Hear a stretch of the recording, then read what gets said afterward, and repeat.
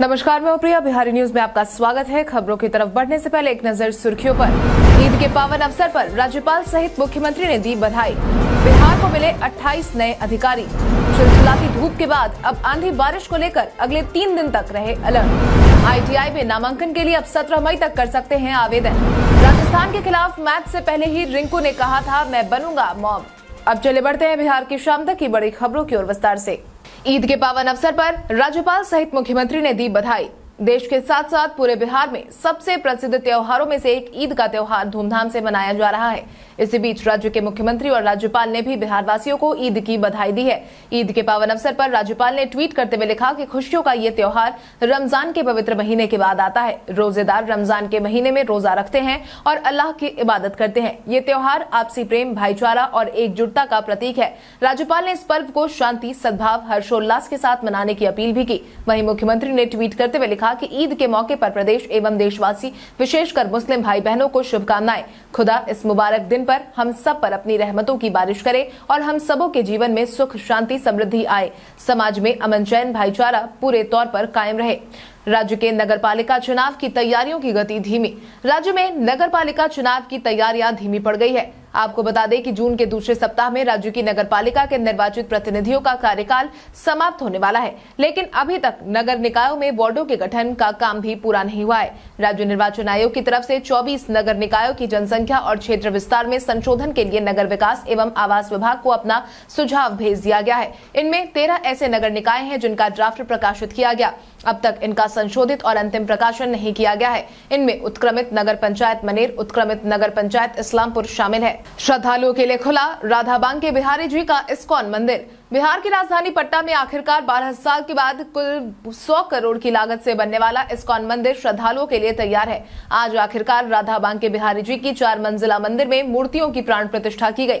उद्घाटन समारोह लगभग पाँच दिन तक चलेगा। वहीं आज शाम सात बजे से आम श्रद्धालु यहाँ भगवान के दर्शन कर सकेंगे। मीडिया हाउस की तरफ़ से साझा की गई रिपोर्ट के अनुसार इस मंदिर को ताजमहल बनाने वाले कारीगरों के वंशजों ने बनाया है। इस मंदिर की खासियत यह है कि इस मंदिर के में चौरासी कमरे और चौरासी पिलर बनाए गए हैं। ये मंदिर पटना के बुद्ध मार्ग पर स्थित है। इसमें राजस्थान से लाए गए मकराना का संगमरमर लगा है। मंदिर की ऊंचाई एक सौ आठ फीट है। इसमें कई गणमान्य लोग भी शामिल हुए। वही कार्यक्रम में हिस्सा लेने के लिए देश विदेश से श्रद्धालु भी आए थे। बिहार को मिले 28 नए अधिकारी। बिहार में अधिकारियों की कमी से बिहार सरकार को थोड़ी बहुत राहत मिली है। बिहार सरकार को बिहार सरकार प्रशासनिक सेवा के 28 नए अधिकारियों की नियुक्ति हुई है। इसके बाद प्रशासनिक काम में तेज़ी आने की उम्मीद जगी है। आपको बता दें कि बिहार लोक सेवा आयोग की तरफ़ से पैंसठवीं संयुक्त प्रतियोगिता परीक्षा के आधार पर बिहार प्रशासनिक सेवा में नियुक्ति के लिए अनुशंसित अट्ठाईस अभ्यर्थियों को प्रोबेशनरी वरीय उप के पद पर नियुक्त किया गया है। इन सभी को व्यवहारिक प्रशिक्षण के लिए जिला में पद स्थापित करने का आदेश भी जारी किया गया। इस नए बैच में सुमित कुमार को दरभंगा, चंदा भारती को भागलपुर और प्रणव कुमार को नालंदा, राजकुमार को बेगूसराय, श्वेता प्रियदर्शी को सीतामढ़ी में तैनात किया गया है। इसी तरह से बिहार के 28 अलग अलग जिलों में ये अधिकारी तैनात किए गए हैं। बिहार बालिका गृह के 41 और लड़कियाँ होटल मैनेजमेंट की पढ़ाई के लिए जा रही हैं बेंगलुरु। बिहार के समाज कल्याण विभाग बालिका गृह में रहने वाली लड़कियों को आत्मनिर्भर बनाने के लिए देश के विभिन्न राज्यों में शिक्षा और ट्रेनिंग के लिए भेज रही है, जिसकी शुरुआत आज से हो गई है। मालूम हो कि बिहार के बालिका गृह की लड़कियों को आत्मनिर्भर बनाने के लिए सरकार उन्हें विशेष पढ़ाई के लिए बिहार से बाहर अन्य राज्यों में भेजती है। इसी कड़ी में बालिका गृह में रहने वाली करीब इकतालीस लड़कियों को बेंगलुरु स्थित यूरेडियन अकेडमी में होटल मैनेजमेंट की शिक्षा और ट्रेनिंग के लिए भेजा जाएगा। वहीं तीस और लड़कियों को नए वर्ष में भेजने की तैयारी भी की गई है। वहीं समाज कल्याण विभाग ने प्रस्ताव तैयार किया है कि ट्रेनिंग पूरी करने के बाद राज्य सरकार की तरफ़ से इन लड़कियों को हर महीने तीन साल तक दो दो हज़ार मिल सके ताकि ये अपना जीवन यापन कर सके। चिलचिलाती धूप के बाद अब आंधी बारिश को लेकर अगले तीन दिन तक रहे अलर्ट। बिहार में मौसम ने अचानक करवट ले ली है और कई जिलों को तपती गर्मी से राहत दिलाई है। मार्च महीने से सूरज की तपिश ने लोगों का हाल खराब कर दिया है। ऐसे में अब सभी जिलों में तेज़ी और ठंडी हवाओं की वजह से गर्मी से ज़रूर राहत मिली है, लेकिन आंधी बारिश की वजह से अब लोग परेशान दिख रहे हैं। बीती रात बिहार के कई जिलों में हल्की से मध्यम बारिश दर्ज की गई। एक तरफ़ पश्चिमी पटना के कई ग्रामीण इलाकों में बूंदाबांदी हुई तो वहीं दूसरी तरफ़ जमुई, बांका, भागलपुर और मुंगेर में हल्की से मध्यम दर्जे की बारिश हुई। वहीं उत्तर बिहार के लिए भी मौसम विभाग ने अलर्ट जारी किया था। अगले तीन दिन, यानी कि छह मई तक राज्य के उत्तरी हिस्से में बिजली गिरने और आंधी पानी की आशंका जताई गई है। पटना म्यूज़ियम के परिसर में खुदाई का हुआ शुभारंभ। प्राचीन पाटलिपुत्र का विस्तार पटना सिटी तक ही था। अब तक लोगों को यही जानकारी मिली थी कि पटना म्यूज़ियम परिसर में प्राचीन काल के अवशेष प्राप्त होने से ऐसा लग रहा है कि प्राचीन पाटलिपुत्र का विस्तार पश्चिमी पटना तक था। मालूम हो कि कुछ समय पहले पटना म्यूज़ियम परिसर में प्राचीन काल के अवशेष प्राप्त हुए थे, जिसके बाद से पटना म्यूज़ियम के परिसर में खुदाई की बात हुई थी, जिसका शुभारंभ मुख्यमंत्री ने बीते दिन किया। मुख्यमंत्री नीतीश कुमार ने बीते दिन पटना म्यूज़ियम परिसर के पूर्वी भाग में खुदाई का शुभारंभ किया, जिसे अब खुदाई से मिलने वाले अवशेषों के आधार पर प्राचीन पाटलिपुत्र के बारे में और भी नई जानकारी मिल सकेगी। आईटीआई में नामांकन के लिए अब 17 मई तक कर सकते हैं आवेदन। बिहार के छात्र जो आईटीआई में नामांकन चाहते हैं और किसी कारणवश पहली समय सीमा में आवेदन नहीं कर पाए हैं, उनके लिए खुशखबरी है। वैसे छात्र अब सत्रह मई तक ऑनलाइन आवेदन कर सकते हैं। आपको बता दें कि औद्योगिक प्रशिक्षण संस्थान प्रतियोगिता प्रवेश परीक्षा आईटीआई सीएटी 2022 के लिए आवेदन करने की अंतिम तारीख बढ़ा दी गई है। इसके साथ ही उनतीस मई को पूर्व निर्धारित प्रवेश परीक्षा भी रद्द कर दी गई है और अब आईटीआई प्रवेश परीक्षा की तारीख के बाद में जारी की जाएगी। आपको बताते चले की फॉर्म में सुधार आप उन्नीस ऐसी इक्कीस मई रात बारह बजे तक कर सकते हैं। आपको ये भी बता दें कि यह संक्षिप्त जानकारी है। अधिक जानकारी के लिए बीसीई सी ईबी के website BCE CEB board dot Bihar dot GOV dot I पर जाकर आवेदन प्राप्त कर सकते हैं। बिहार के इन जिलों के पंद्रह स्थानों पर रोड ओवर ब्रिज बनाने की मिली मंजूरी। बिहार सरकार सड़क दुर्घटनाओं को लेकर अलर्ट है। साथ ही भारी भड़कम, जाम से निजात दिलाने के लिए भी काम कर रही है। इसी कड़ी में बिहार सरकार के सड़क एवं पथ निर्माण मंत्री नितिन नवीन ने केंद्रीय सड़क निधि से बिहार में पंद्रह आर बनाए जाने की जानकारी दी है। आपको बता दें कि केंद्रीय सड़क परिवहन एवं राजमार्ग मंत्रालय ने कई जिलों में पंद्रह महत्वपूर्ण स्थलों पर रोड ओवर ब्रिज बनाने की मंजूरी दे दी है। इसमें दरभंगा, समस्तीपुर, पूर्वी चंपारण, पश्चिमी चंपारण, मुजफ्फरपुर, बेगूसराय, नवादा और कटिहार जैसे ज़िले शामिल हैं। इसके बन जाने से जाम और दुर्घटना में कमी आएगी। आपको बता दें कि बीते दिन उच्च स्तरीय बैठक में Bihar state road development corporation के अधिकारियों का विस्तृत परियोजना प्रतिवेदन के लिए ज़रूरी कार्रवाई करने का निर्देश जारी किया गया है। इसी बीच पथ निर्माण मंत्री ने यह भी बताया कि गंगा पथ का विस्तार दीघा से शेरपुर तक और दीदारगंज से बख्तियारपुर तक किया जाएगा।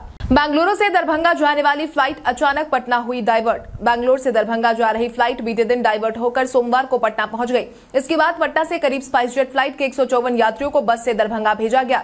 ये मामला बीते दिन शाम छह बजे बैंगलोर से दरभंगा के करीब पहुँच चुकी स्पाइस जेट की फ़्लाइट डाइवर्ट दरभंगा एयरपोर्ट पर लैंड नहीं हो पाई और डाइवर्ट होकर पटना एयरपोर्ट पर लैंड हुई। हालाँकि विमान के पटना आने की वजह स्पष्ट नहीं हो सकी और विमान कंपनी की माने तो ऑपरेशनल वजह से ऐसा करना पड़ा है। हालाँकि खबर यह भी है कि इसके पीछे दरभंगा एटीसी टावर से संपर्क में होने वाली परेशानी को वजह बताया गया है।